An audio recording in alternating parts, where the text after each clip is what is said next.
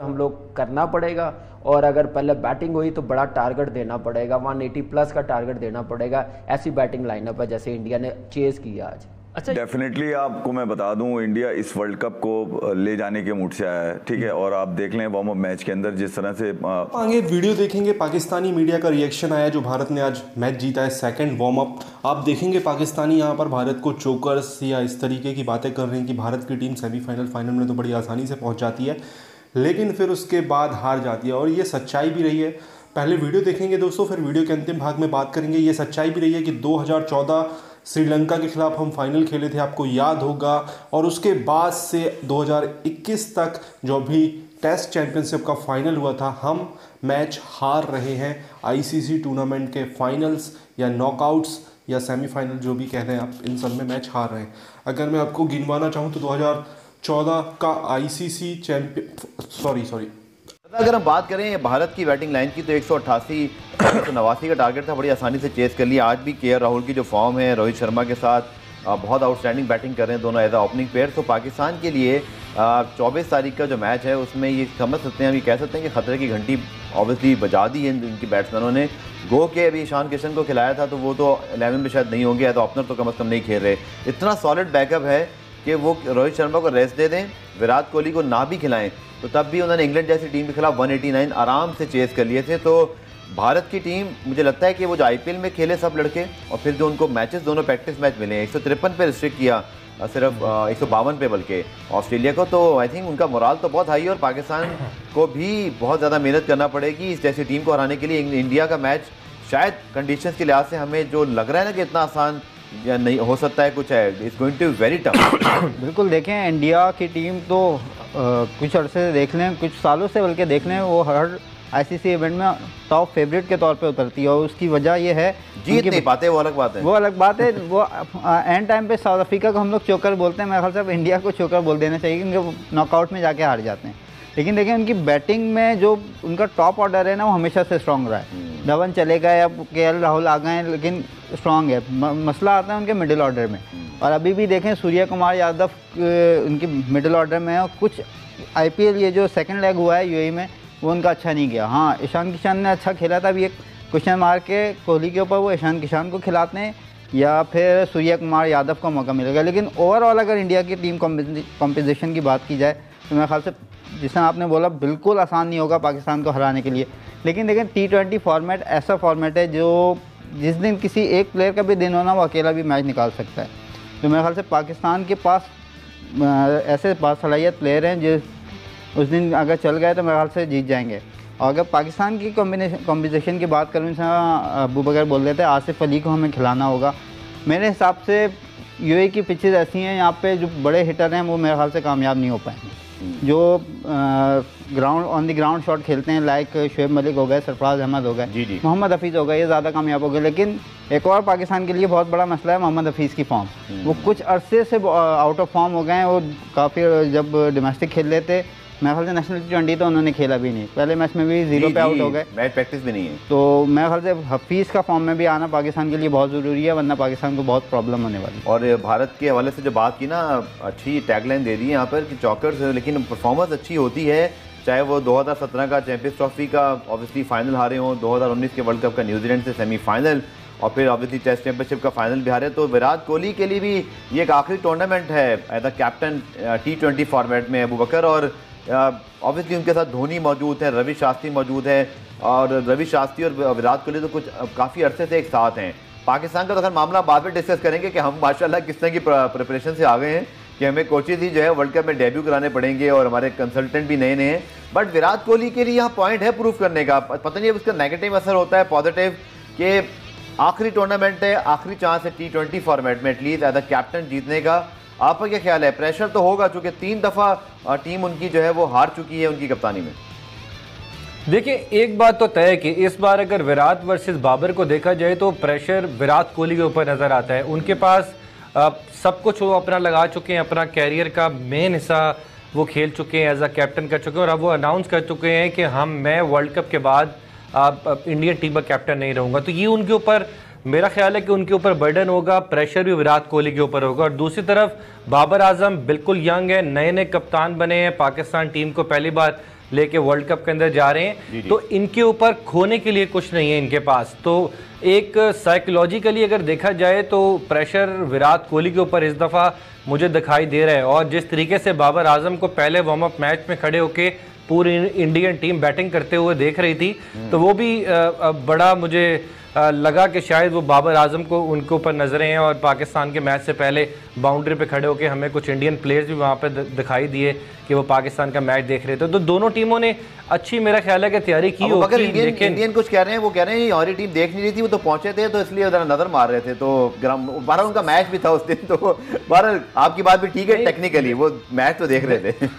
Match वो देख रहे थे, वो बेशक अपना मैच खेलने के लिए आए। हम ये नहीं कह रहे कि वो होटल से उठ के पाकिस्तान का वार्म अप मैच देखने के लिए ग्राउंड में आए। ऐसा बिल्कुल नहीं है। वो अपना मैच के लिए आए थे, लेकिन लगा कि बाउंड्री के ऊपर खड़े होकर जिस तरह एक कंपेटिटर को दूसरे कंपेटिटर को देखना चाहिए। इधर इंडिया की टीम खेल रही होती तो शायद पाकिस्तान की टीम भी उनको इसी तरह मॉनिटर कर रही है। आज इंडिया का मैच खत्म होगा तो पाकिस्तान का मैच है मुझे लग रहा है ये शॉर्ट रिपीट ना हो जाए दूसरी तरफ़ से। बिल्कुल हो सकते हैं। अच्छा गुफार भाई आप मुझे बताएँ कि आपको क्या लग रहा है इस बार इंडिया या पाकिस्तान? कौन जीतेगा? आपकी क्या इसमें इतना मुश्किल आपने सवाल कर दिया है। और इतने आराम से कि इसका जवाब देने के लिए मुझे बड़ी तमीद बांधनी पड़ेगी। लेकिन मैं ये ज़रूर कहूँगा कि इंडिया की जो परफॉर्मेंस है वो बकर, अभी हम बात कर रहे थे अगेंस्ट इंग्लैंड बड़ी स्ट्रॉन्ग टीम है, फिर अगेंस्ट ऑस्ट्रेलिया इन टीमों को जब आप बहुत अच्छी तरह हराते हैं ना तो फिर आपका कॉन्फिडेंस बहुत हाई होता है मोमेंटम भी गेन करते हैं। और इंडिया के पास सिर्फ़ एक कमी मुझे दिखाई देती है, वो जो हमारा भी वही प्रॉब्लम है कि नंबर छः नंबर सात पे मुझे लगता है कि वहाँ उनको भी एक बड़ा प्रॉपर एक्सेलरेटर जो एक सेट बैट्समैन होता है ना, हार्दिक पांड्या, जो कि इंजरी फिर बॉलिंग नहीं कर रहे हैं, फिर शार्दुल ठाकुर का भी नाम आ रहा है। थोड़ा सा ये मुझे कमी दिखाई देती है अदरवाइज़ तो आउटस्टैंडिंग किस्म की उनकी टीम है। अगर आप देखें तो उनके बाद टॉप ऑर्डर फिर विराट कोहली, फिर उनके बाद जितने यंगस्टर्स आ गए हैं, उनकी बॉलिंग के अंदर आप डेप्थ देखें, उनकी बैटिंग सॉरी स्पिनर्स देख लें तो मेरा मेरे ख्याल में तो भारत की इस टीम में कमज़ोरी ढूँढने से भी आपको शायद एक आधी नज़र आती है। बट ये और बात है कि पाकिस्तान इंडिया मैच के दिन प्रेशर कौन झेलता है मोमेंटम कौन गेन कर लेता है टॉस बड़ा इंपॉर्टेंट हो सकता है इब्तदाई मोमेंट जैसे इंतमाम का मैं एक जगह सुन रहा था कि उन्होंने कहा जी हमें शुरू से ही हमें बहुत ज़्यादा जो है ना एक अटैकिंग अप्रोच रखनी पड़ेगी। तो this is all matter on the day बिल्कुल देखें जैसे आपने बोला टॉस का भी बहुत बड़ा रोल होगा क्योंकि कल आपने देखा होगा बांग्लादेश में मान के मैंने बहुत ज़्यादा डी थी और हम्म। आगे जैसे जैसे वक्त गुजरेगा तो डी का बहुत बड़ा रोल होने वाला है इसमें और इंडियन टीम की बात की जाए तो मैं ख्याल से उनके लिए सबसे बड़ी प्रॉब्लम यह है कि फाइनल एलेवन क्या खिलाएँगे क्योंकि जितने भी प्लेयर हैं सारे प्रूवन परफॉर्मर हैं उनके लिए देखें कॉम्बिनेशन बनाना मेरे ख्याल से पांड्या की वजह से बड़ा मुश्किल हो रहा है क्योंकि जैसे आपने बोला छठी पांड्या की इंजरी का बड़ा मसला है वो बॉलिंग नहीं कर रहे हैं। अगर वो बॉलिंग नहीं कर रहे हैं तो इतने वो कैपेबल हैं कि उनको एज अ बैट्समैन खिलाया जाए। क्योंकि अगर एज अ बैट्समैन खेलते हैं तो मेरे ख्याल से फिर इंडिया का जो कम जो उनकी टीम का कम्बिनेशन है। वो बहुत आउट होता है। तो मेरे ख्याल से देखें मेरे ख्याल से तो अगर वो बॉलिंग नहीं कर रहे हैं तो मेरे ख्याल से फिर शार्दुल ठाकुर को खिलाना चाहिए क्योंकि उन्होंने परफॉर्म किया है। टेस्ट मैचेस में भी परफॉर्म किया। टी ट्वेंटी में जब उनको खिलाया उन्होंने अच्छा टीम के लिए परफॉर्मेंस दी है। तो आगे देखना होगा कि इंडिया के लिए सबसे बड़ा मसला ये है कि फाइनल एलेवन क्या खिलाते हैं। चले हमने तो मेरा, मुझसे अबू बकर ने सवाल पूछा था, मैंने रजा की तरफ़ कर दिया, लेकिन मैं फिर भी समझता हूँ ऑन द डे कुछ होगा कि अबू बकर, आप ही क्या राय है?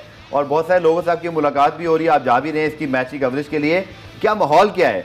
जो पाकिस्तानी कैंप है ऑब्वियसली मुझे पहले की नस्बत एक एटलीस्ट एक थोड़ा ठहराव दिखाई दे रहा है। कोई पैनिक नहीं है एक्सपीरियंस प्लेयर हमारे पास हैं। बेशक मैथ्यू हर्डन ने सिर्फ़ चंद दिनों के लिए ज्वाइन किया लेकिन फिर भी एक ऐसा दुनिया का बड़ा नाम हमारे साथ मौजूद है। फिर सकलैम मुश्ताक बहुत ज़्यादा कैपेबल हैं इस तरह की चीज़ों को टेक्निकली समझते हैं वो। उन्होंने इंग्लैंड के साथ काम किया हुआ है। सो so, आप ही क्या राय है? We are prepare for this match देखिए वही स्ट्रेटेजी होनी चाहिए जो पाकिस्तान ने चैंपियंस ट्रॉफी के फाइनल में अपनाई वही स्ट्रेटेजी होनी चाहिए जो न्यूजीलैंड ने वर्ल्ड कप के सेमीफाइनल में इंडिया के साथ अपनाई। अगर हमने इंडिया के टॉप ऑर्डर्स को पकड़ लिया हम्म। शुरू के पहले छः ओवर्स में हमें दो विकेटें मिल गई पहले दस ओवर्स में तीन से चार हमने आउट कर लिए तो इंडियन टीम फंस जाती है। आ, हमेशा इंडियन टीम को अगर अच्छा स्टार्ट मिले तो फिनिश भी वो बहुत अच्छा करते हैं। बट जिस तरीके से आमिर ने चैंपियंस ट्रॉफी के फाइनल के अंदर आगाज़ फ्राहम किया। इस तरह का आगाज़ मेरा ख्याल है कि अगर शाहिन शाह और हसन अली पाकिस्तान को प्रोवाइड कर दें तो फिर डेफिनेटली इंडियन टीम फंस जाएगी। और अगर ती, एक सौ तीस चालीस पचास के दरमियान स्कोर हुआ तो फिर मेरा ख्याल है कि पाकिस्तान के जो ओपनिंग पेयर है, वो दुनिया का बेस्ट पेयर है अंडर 150 चेस करने के लिए। जिस तरीके से उनकी टेक्निक है और वो गेम को लेकर लंबा चलते हैं विकेट थ्रो नहीं करते तो यही चाहिए होता है एक मिडल रन के जो एक टारगेट होता है डेढ़ सौ रन का उसको चेस करने के लिए। तो पाकिस्तान का फिर हमें आ, कम अज़ कम टॉप ऑर्डर ऐसा है कि हम उनके ऊपर डिपेंड कर सकते हैं खासकर बाबर आज़म के ऊपर और रिजवान के ऊपर। लेकिन बॉलर्स को मेरा ख्याल है कि बड़ी अच्छी तो दोस्तों ये वीडियो यहाँ पर होता है खत्म। आपने देखा पाकिस्तानी मीडिया यहाँ पर बात कर रहा था भारतीय टीम के बारे में भारतीय टीम के वार्म अप के बारे में और भारतीय टीम का इन्होंने रिकॉर्ड भी बताया। जो कि आईसीसी टूर्नामेंट में रहा है 2014 से। 2014 में आपको पता है, मैंने आपको सारी बातें बता दी, श्रीलंका के खिलाफ हम टी का फाइनल हारे थे। उस फाइनल के बाद युवराज सिंह और धोनी पर काफ़ी ब्लेम किया गया था। हालाँकि अगर आप उस फाइनल का स्कोर कार्ड देखें तो अजिंक्य रहाणे और रोहित शर्मा ने 12 ओवर में तिहत्तर रन बनाए थे। शायद अगर मैं गलत नहीं हूँ तो मैंने शायद स्कोर कार्ड बहुत पहले देखा था। तो वो वहीं पर हम मैच हार गए थे। और उसके बाद 2015 का सेमीफाइनल आपको याद होगा, ऑस्ट्रेलिया के खिलाफ फिर उसके बाद 16 का सेमीफाइनल वेस्ट इंडीज़ के खिलाफ, फिर 17 का चैंपियंस ट्रॉफी का फाइनल फिर सीधा इक्कीस का टेस्ट चैंपियनशिप का फाइनल हम हारे हैं। तो ये बात बिल्कुल सच है नॉकआउट्स में इंडिया का परफॉर्मेंस बहुत ही ख़राब रहा है पिछले मतलब 2014 से अगर बात करें तो। तो गाइज़ अब पाकिस्तानी मीडिया का मतलब एक मज़ाक उड़ाने का मौका मिल गया। पाकिस्तान शायद ये मैच हार जाए और पाकिस्तान शायद वर्ल्ड कप के सेमीफाइनल में भी ना पहुँचे, लेकिन उनको सेलिब्रेट करना है कहाँ इंडिया जब फाइनल या सेमीफाइनल में हारेगा, ये गारंटी से आप लिख के ले लो। उम्मीद करते हैं कि भारत इस बार सेमीफाइनल या फाइनल में ना हारे और भारत को सेमीफाइनल या फाइनल में उस ग्रुप से मुझे लगता है ऑस्ट्रेलिया इंग्लैंड या वेस्ट इंडीज इन तीन टीम में से कोई एक मिलेगी। हो सकता है वेस्ट इंडीज़ मिले और वेस्ट इंडीज दो सोलह की हमारी बहुत बुरी यादें हैं। भारत ने 180 स्कोर किया और वो आपको भी पता है कि वो किस तरीके का क्रिकेट खेलते हैं। पावर हिटर्स हैं सारे। फिर उन्होंने जो मारा है भारत को, हालाँकि नो बॉल भी हुई थी, लेकिन उसके बाद भी बहुत बुरे तरह से मतलब उन्होंने हराया था मुंबई में। ड्यू आई थी और भारत के बॉलर बिल्कुल बहुत ज़्यादा पिट रहे थे। तो दोस्तों, आपको पता है कि जो चोकर्स का टैग है वो हटेगा नहीं कमेंट सेक्शन में ज़रूर बताएँ, क्योंकि भारत की टीम बहुत स्ट्रांग है। दुनिया में हम लगभग, आप देख सकते हो पाँच छः साल से मतलब पाँच छः साल से तो नहीं, मैं तो बोलूँगा 2011 के बाद से भारत की टीम हमेशा टॉप में रही है। लेकिन जो लास्ट के पाँच छः साल हैं, पाँच साल स्पेशली हम भारत इंग्लैंड में जाकर जीत रहा है अभी, जो टेस्ट सीरीज़ टाई हुई, हालाँकि वो इंडिया आगे ही है मतलब दो एक से तो आगे है, लेकिन उसका रिज़ल्ट अभी डिक्लेयर नहीं किया गया है। ऑस्ट्रेलिया में जाकर हम जीते।